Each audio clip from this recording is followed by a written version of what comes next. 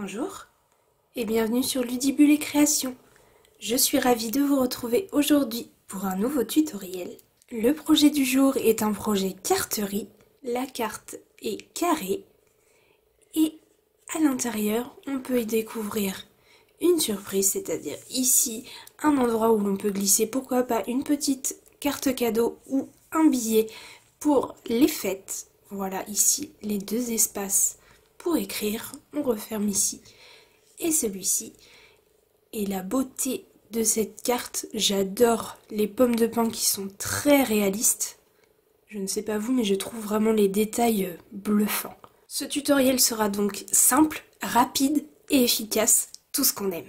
Si vous souhaitez apprendre à la réaliser, suivez-moi. Pour la réaliser, il nous faut deux morceaux de papier unique. Ici, j'ai choisi la couleur soyeuse succulente. Pour celle-ci, c'était la couleur épinette enivrante. Le premier morceau mesure 21 cm par 14 cm et le deuxième fait toujours 21 cm mais cette fois-ci par 10,5.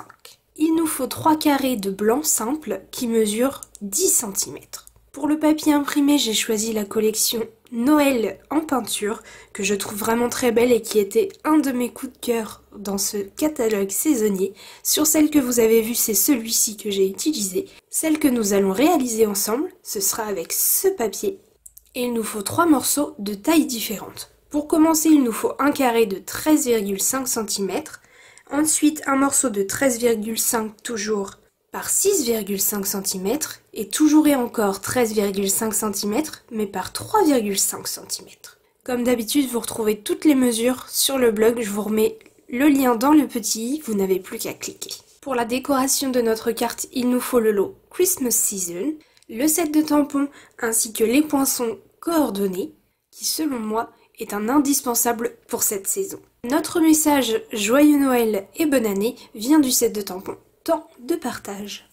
Pour commencer cette carte, je vais réaliser chacun de mes tamponnages, que ce soit mes pommes de pain, mes feuilles ou mes petites boules juste ici, ainsi que mon message. Pour faire mes pommes de pain, je vais utiliser la couleur brune dune ainsi que la couleur couleur café. Pour mes petites boules et leurs branches, on va utiliser la couleur couleur café ainsi que rouge rouge. Et pour nos feuilles, celle-ci et celle-ci, je vais utiliser épinette enivrante et soyeuse succulente. Pour celle-ci, j'avais utilisé la couleur sapin ombragé que je vais remplacer par soyeuse succulente. Je m'occupe maintenant de mes tamponnages et on se retrouve juste après. Je vais le faire en accéléré mais pour les pommes de pain je mettrai un tout petit peu plus lent pour que vous voyez à quel point il est simple de faire ce tamponnage en deux étapes.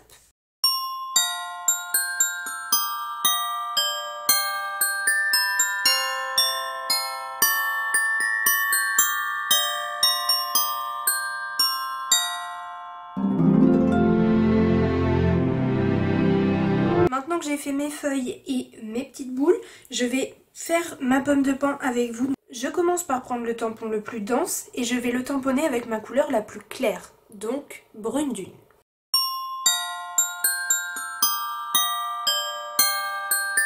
Ensuite, je prends le deuxième tampon, donc celui le moins dense, et je vais le tamponner avec ma couleur couleur café.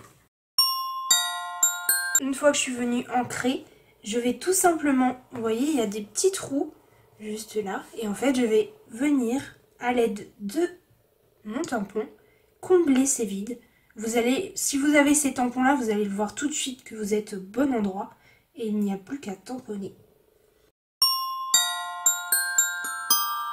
Et voilà le résultat. Je, je trouve ça juste impressionnant et vraiment, vraiment magnifique. Je termine avec ma plus petite je découpe le tout avec mes poinçons et on se retrouve juste après.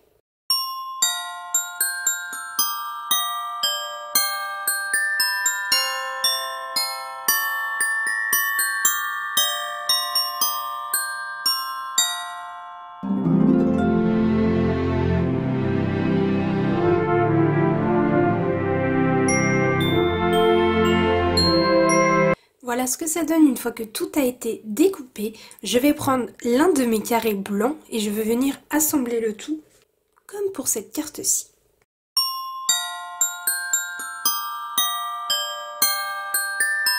Voilà plus ou moins ce que je veux que ça donne.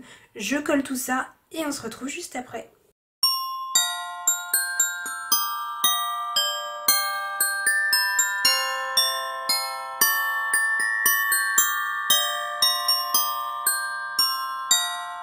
Maintenant tout est collé, je vais venir y ajouter un petit nœud avec du ruban soyeuse succulente. Celui de l'autre carte, c'était le ruban épinette enivrante.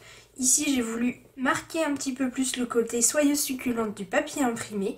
Et on y ajoutera aussi des petits gemmes, ou plus exactement des bijoux cristal du Rhin rouge.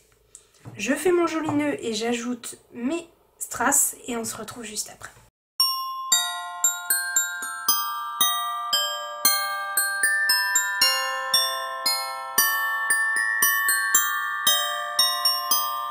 Voilà ce que ça donne une fois notre décoration centrale de notre carte est faite. Je la trouve vraiment magnifique et j'ai hâte de voir le résultat final. Je peux remettre ceci de côté avec mes deux autres carrés blancs et je vais prendre mon papier uni et mon massicot. Tous mes plis, je vais les faire dans le sens de la longueur, que ce soit pour ce morceau ou pour l'autre.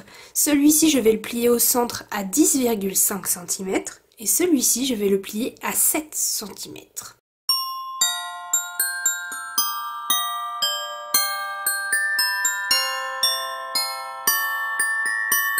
Voilà ce que ça donne une fois que je suis venue appuyer mes plis avec mon plioir. Je peux prendre mon carré de papier imprimé que je vais coller juste ici et le deuxième morceau le plus large que je vais coller lui juste ici.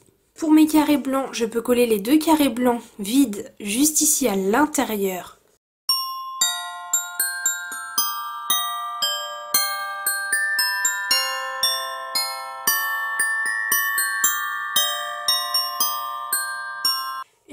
Papiers blancs collés à l'intérieur, je prends bien ma carte dans le même sens que celui que je vous montre et je vais pouvoir venir coller notre décoration sur le devant.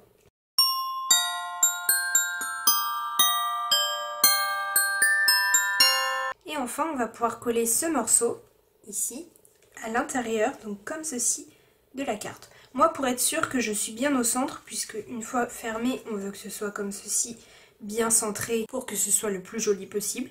J'ouvre complètement ma carte comme ça. Et je vais du coup pouvoir me placer beaucoup plus facilement, je trouve, au centre de mon carré.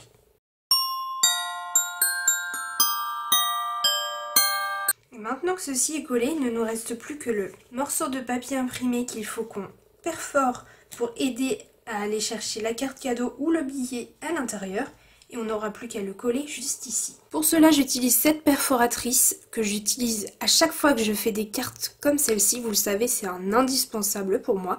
Et je vais venir perforer au centre de mon papier imprimé, juste comme ceci, pour faire une toute petite encoche. Et maintenant que j'ai mon encoche, je peux mettre de la colle, un tout petit liseré sur ces trois côtés, surtout pas sur le côté où il y a l'encoche.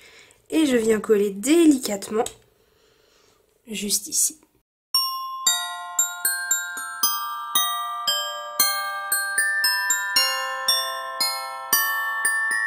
Et notre carte est terminée. On n'a plus qu'à glisser une carte cadeau ou un petit billet juste ici. On referme, on écrit notre petit mot et on peut offrir cette jolie carte, même magnifique carte. Vraiment, c'est un coup de cœur pour moi et j'adore sa simplicité. J'espère qu'elle vous plaît également. Si c'est le cas, n'hésitez pas comme d'habitude à mettre un petit pouce en l'air. Et dites-moi dans les commentaires quelle est votre version préférée. Soit la version épinette enivrante, soit la version soyeuse succulente. Si vous arrivez à choisir une préférence, vraiment chapeau parce que moi j'en suis incapable, j'adore les deux. Nous avons repris les lives depuis ce dimanche et je suis heureuse de vous convier à un nouveau dès ce dimanche, donc le dimanche 7 novembre. J'espère que vous serez aussi nombreuses que pour celui de dimanche et j'ai très hâte de passer ce moment avec vous. Merci d'avoir regardé cette vidéo et à très bientôt